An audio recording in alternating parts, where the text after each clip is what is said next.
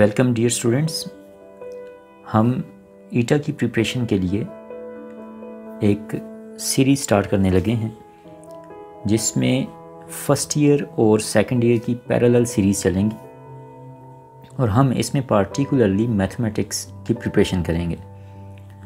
इसमें एम होंगे और उन पे कुछ डिस्कशन की जाएगी, जिसके थ्रू हम राइट right आंसर को सर्च करेंगे। स्टूडेंट्स फ़र्स्ट ईयर में हों या सेकंड ईयर के अंदर हों वो इन एम से बेनिफिट ले सकते हैं। और यहाँ पे आपको चाहिए कि जैसे ही हम कि, किसी एम को डिस्कस कर रहे हों तो आप वहाँ पे उसे पॉज करें और ख़ुद से राइट आंसर को तलाश करें। और उसके बाद डिस्कशन को सुने और देखें कि राइट आंसर कौन सा है। आपको साथ साथ राइट आंसर भी यहाँ पे पता चलेगा। अब हम फ़र्स्ट ईयर के फ़र्स्ट चैप्टर की तरफ़ आते हैं, जो कि है कॉम्प्लेक्स नंबर्स तो इस पे हमारा फ़र्स्ट एम है। If n is even then iota power n can take the values और हमारी ऑप्शंस हैं। Minus iota iota option B है। One comma iota option C है। माइनस वन वन, और ऑप्शन डी है माइनस वन, माइनस एटा तो यहाँ पे क्विकली आप एन की अगर फ़र्स्ट वैल्यू यहाँ पे पुट करें, टू। तो आप देखेंगे iota power two equal to minus one है। तो इसका मतलब ये है कि ऑप्शन ए नहीं हो सकती, क्योंकि इसमें माइनस वन नहीं है। और ऑप्शन बी भी नहीं हो सकती, इसमें भी माइनस वन नहीं है। उसके बाद अगर आप एन की वैल्यू फोर पुट करें। तो iota power four equal to plus one होता है। तो इसका मतलब ये है कि सी ऑप्शन हमारा राइट right आंसर है। अब हम नेक्स्ट एम देखते हैं। नेक्स्ट एम है, the reflection of z equal to two plus four iota in Argand plane is, और ऑप्शंस हैं, minus two plus four iota A option B option है।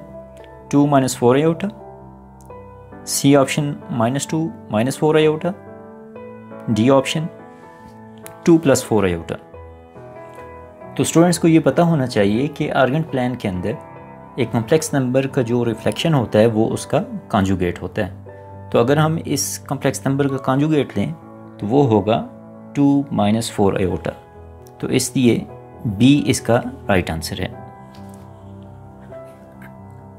अब थर्ड एम देखते हैं। थर्ड एम है।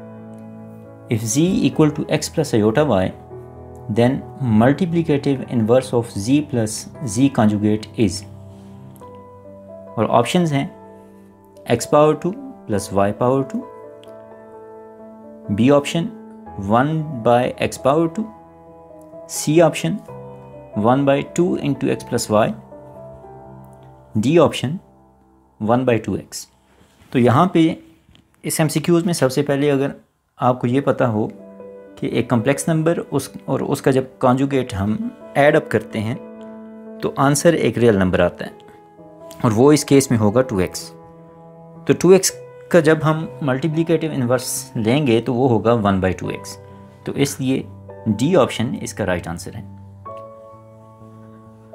अब हम नेक्स्ट एम देखते हैं। नेक्स्ट एम है if z equal to x plus iota y where x y belong to set of real numbers then z into z conjugate is और option हैं A option rational number B option real number C option complex number D option irrational number तो अगर z एक complex number हो, जिसमें x plus एटा y की form है और x और y रियल नंबर्स हैं तो z को जब उसके कॉन्जुगेट के साथ मल्टीप्लाई किया जाता है तो हमारे पास जो आउटपुट आती है वो x power two plus y power two होती हैं। और चूँकि x और y रियल नंबर हैं तो इसलिए x power two plus y power two भी एक रियल नंबर होगा। तो इसलिए राइट आंसर ऑप्शन बी है। नेक्स्ट एम देखते हैं। The multiplicative inverse of z equal to one minus iota is और ऑप्शंस हैं। z inverse equal to one by two plus one by two iota option B z inverse equal to minus one by two plus two one by two iota option C z inverse equal to one by two minus one by two iota option D z inverse equal to minus one by two minus one by two iota तो अगर हमारे पास एक complex number हो, z equal to x plus iota y तो उसका multiplicative inverse होता है x divided by x power two plus y power two real part और minus y divided by x power two plus y power two imaginary part तो अगर हम यहाँ पे x देखें तो x है वन और y है माइनस वन तो इसलिए अगर हम इनवर्स के फार्मूला में इन्हें पुट करें तो x power two plus y power two की वैल्यू टू है। इसलिए हमारा राइट आंसर होगा ए ऑप्शन अब नेक्स्ट एमसीक्यूज देखते हैं। If z equal to x plus iota y then z absolute is equal to A option है minus z absolute B option z conjugate absolute C option z conjugate minus z conjugate whole absolute और D option है all of these तो अगर आप देखें तो z absolute equal है x power two plus y power two whole under root और अगर हम माइनस सी या z कॉन्जुगेट या माइनस टाइम z कॉन्जुगेट का एप्सल्यूट कैलकुलेट करें तो वो भी x power two plus y power two whole under root आता है। इसलिए इसका राइट right आंसर है option D all of these अब हम नेक्स्ट एम की तरफ़ जाते हैं। नेक्स्ट एम है। The additive inverse of z equal to iota power five is और ऑप्शन हैं. A iota B option one C option minus one D option minus iota तो यहाँ पे सबसे पहले हमें पता होना चाहिए कि एक कम्प्लेक्स नंबर का एडिटिव इन्वर्स क्या होता है। तो अगर एक कम्प्लेक्स नंबर हो जी तो उसका एडिटिव इन्वर्स होगा माइनस सी लेकिन यहाँ पे चूँकि z equal to iota power five है तो इसलिए हमें पहले आयोटा पावर फाइव को सॉल्व करना है। तो अगर हम इसे सॉल्व करें तो आयोटा पावर फाइव इक्वल है प्लस आयोटा के, इसलिए इसका एडिटिव इन्वर्स होगा माइनस आयोटा इसलिए हमारा राइट आंसर है ऑप्शन डी अब नेक्स्ट एम देखते हैं। नेक्स्ट एम है the number of solutions for z equal to z conjugate is और ऑप्शन हैं zero B option one C option infinitely many D option n solutions तो यहाँ पे क्वेश्चन में पूछा हुआ है कि ये जो इक्वेशन है z equal to z conjugate इसके कितने सॉल्यूशंस हैं? तो हम पहले इस इक्वेशन पे थोड़ा गौर करते हैं। इसमें कहा गया है कि ऐसे कितने कॉम्प्लेक्स नंबर हैं कि जो अपने कॉन्जुगेट के इक्वल होते हैं। तो हमें पता है कि सारे के सारे रियल नंबर्स बी कॉम्प्लेक्स नंबर्स के अंदर मौजूद हैं और वो अपने कॉन्जुगेट के इक्वल होते हैं। इसलिए इनकी तादाद इनफाइनाटली मैनी है। तो इसलिए सी हमारा राइट आंसर है। अब नेक्स्ट एम देखते हैं। The equation z cube plus 1 equal to 0 has dash complex solutions. और हमारी ऑप्शंस हैं first one zero second one third two and fourth three तो अगर आप इस इक्वेशन को सॉल्व करें तो आपको यहाँ से अंदाज़ा हो जाएगा कि एक तो इसका सोल्यूशन है माइनस वन जो कि रियल नंबर है। और बाकी दो सोल्यूशन जो इसके आते हैं वो कम्प्लेक्स नंबर्स हैं। इसलिए इस इक्वेशन के दो कॉम्प्लेक्स सॉल्यूशंस हैं। तो राइट आंसर ऑप्शन सी है। अब नेक्स्ट एमसीक्यूज देखते हैं। If z equal to iota is a solution of z power 2 plus k equal to 0, then second solution will be A option z equal to minus under root k, B option z equal to k, C option z equal to minus iota, D option z equal to plus under root के। तो यहाँ पे एक solution given है z equal to iota इस equation के लिए z power two plus K equal to zero और कहा गया है कि दूसरा सोल्यूशन क्या होगा। तो यहाँ पे आपको माइंड में रखना चाहिए कि कम्प्लेक्स सोल्यूशंस कॉन्जुकेट की फॉर्म में होते हैं। अगर एक कम्प्लेक्स नंबर एक इक्वेशन का सोल्यूशन हो तो उसका कॉन्जुगेट भी उसका सोल्यूशन होता है। तो यहाँ पे अगर आप देखें तो z इक्वल टू अयोटा का कॉन्जुगेट है, z equal to minus iota तो इसलिए इसका राइट आंसर होगा सी अब हम नेक्स्ट एमसीक्यूज देखते हैं।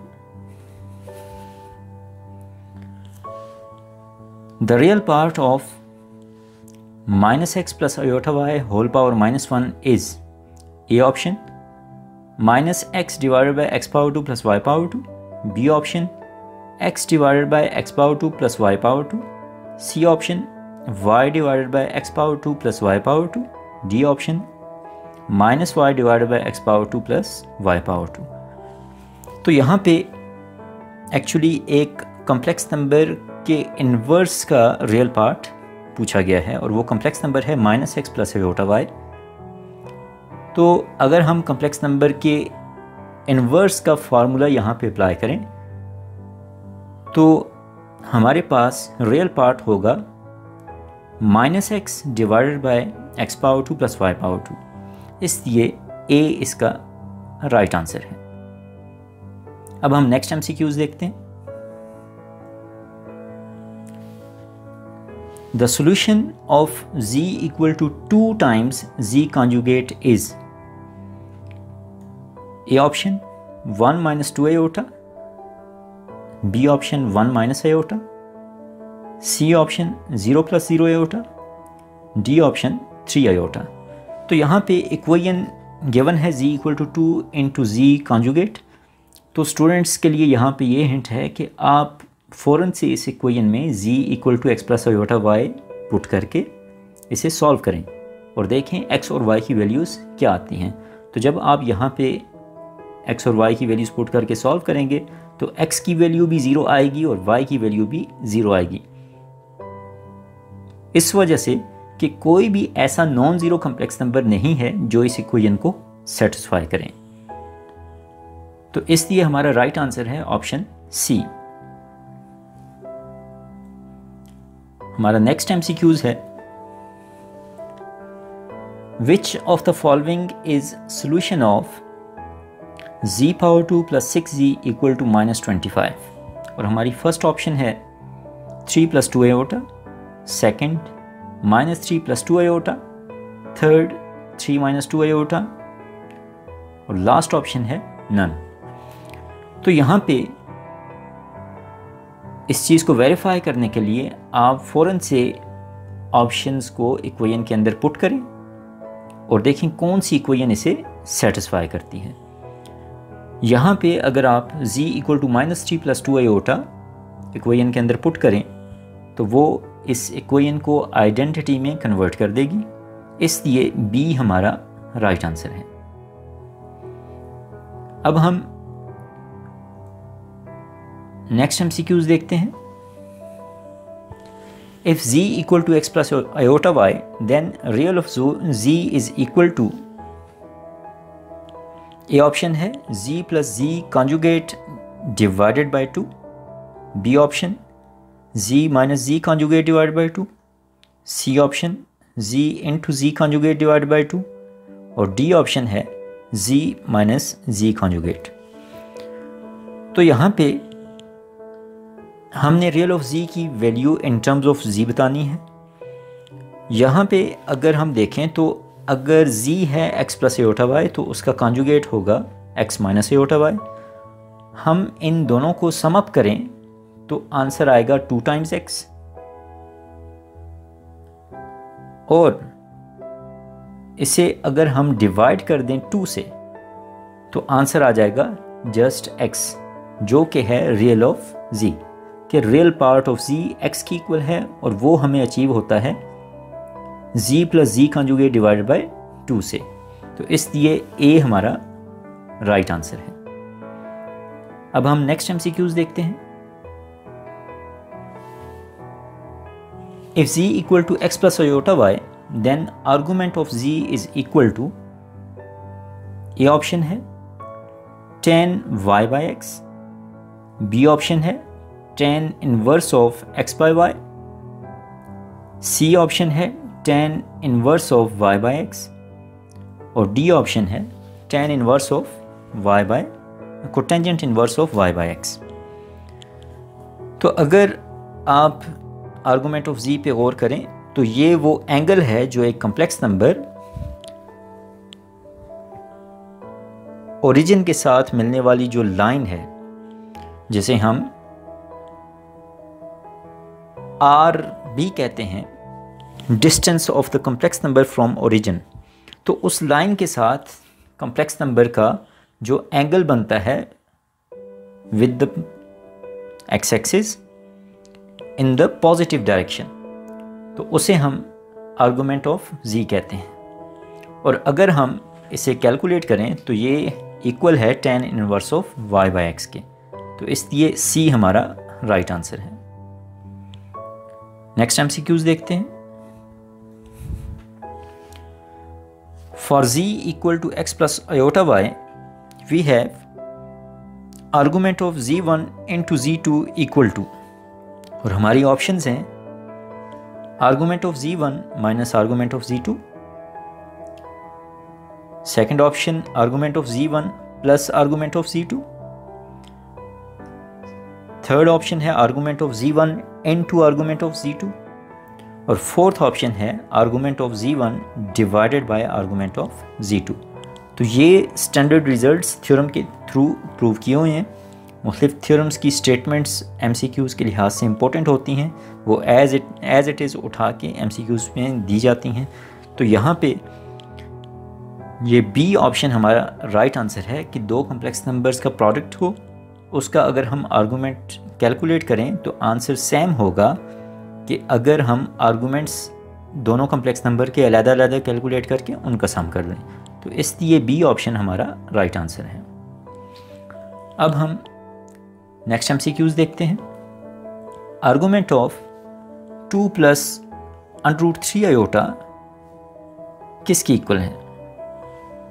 ऑप्शंस हैं A option pi B option pi by two C option pi by four D option pi by three हमने अभी देखा कि आर्गूमेंट ऑफ़ जी इक्वल होता है tan inverse of y by x यहाँ पे y की वैल्यू है two into one root three और x की वैल्यू है टू इसलिए हमारे पास एक्सप्रेशन बन जाएगा टेन इनवर्स ऑफ़ अन रूट थ्री और अन रूट थ्री इक्वल होता है tan of pi by three के. इसलिए टेन इनवर्स ऑफ़ टेन आपस में कैंसिल हो जाएँगे और हमारे पास आंसर आ जाएगा पाई बाई थ्री इसलिए डी हमारा राइट right आंसर है। अब नेक्स्ट एम देखते हैं। The polar form of z equal to x plus iota y is first option है z equal to cos theta plus iota sine theta B option है z equal to cos theta minus iota sine theta C option है, z equal to r into cos theta plus iota sine theta और D option है, z equal to r into cos theta minus iota sine theta तो एक complex number को हम polar form में convert कर सकते हैं। उसके लिए हमें दो चीज़ों की ज़रूरत होगी। एक तो आर्गूमेंट जिसे हम थीटा कहते हैं, और एक होगा absolute value of the complex number जिसे हम आर कहते हैं। और यहाँ पे ये जो कम्प्लेक्स नंबर है z equal to x plus iota y इसमें एक्स का रिलेशन आर और थीटा के साथ ये है कि x is equal to r cos theta और वाई का रिलेशन ये है y equal to r sine theta तो अगर हम ये रिलेशन यहाँ पे पुट कर दें तो आर कॉमन आ जाएगा और सी हमारा राइट right आंसर होगा। अब नेक्स्ट एम देखते हैं।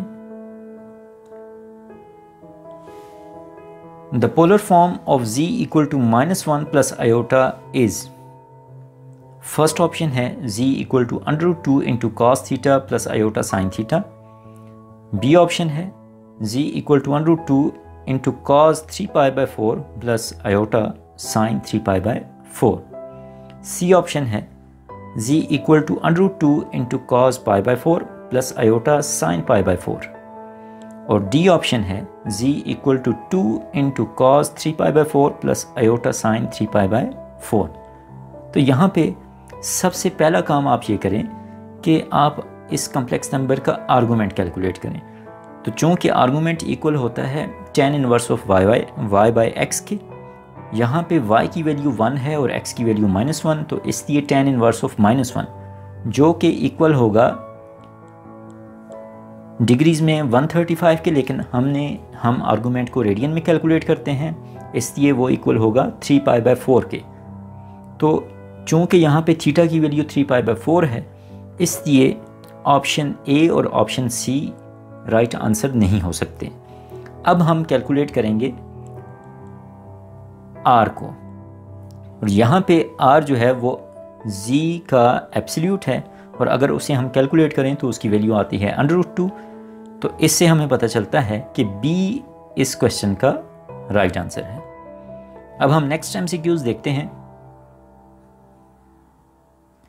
If z equal to x plus iota y where x y belong to set of real number then which of the following is a real number option हैं। First one one by z second one 1 by z conjugate, third one z divided by z conjugate, और last one one by z into z conjugate तो अगर हम first option को देखें तो एक complex number हो x प्लस योटा वाई जिसमें ये कंडीशन गिवन है कि x और y रियल नंबर्स हैं। तो वन बाई जी उसका इन्वर्स होता है, और ज़रूरी नहीं है कि वो हमेशा एक रियल नंबर हो। ये कम्प्लेक्स नंबर हो सकता है, इसलिए ऑप्शन ए भी राइट right आंसर नहीं है। ऑप्शन बी को अगर हम देखें तो z का कॉन्जुगेट अगेन एक कम्प्लेक्स नंबर होगा और वन बाई जी कॉन्जुगेट ज़रूरी नहीं है कि एक रियल नंबर आए। इसलिए बी बी इसका राइट आंसर नहीं है। सी पार्ट में अगेन जी और जी कॉन्जुगेट की डिवीज़न है। तो यहाँ पे भी इन जनरल ये ज़रूरी नहीं है कि इसका, इसकी जो फाइनल फॉर्म है, वो एक कम्प्लेक्स एक रियल नंबर है। तो ये भी कम्प्लेक्स नंबर हो सकता है, इसलिए सी भी इसका राइट आंसर नहीं है। डी ऑप्शन इसमें हम देखें तो डिवीज़न में z इंटू जी कॉन्जुगेट है और हमें पता है कि एक कम्प्लेक्स नंबर और उसका कॉन्जुगेट जब आपस में मल्टीप्लाई होते हैं तो वो एक रियल नंबर होता है। तो इसलिए one by that real number is again a real number इसलिए ऑप्शन डी हमारा राइट right आंसर है। आई होप आपने इन एम से कुछ टॉपिक्स क्लियर किए होंगे। अब हम नेक्स्ट लेक्चर में मिलते हैं। Thank you very much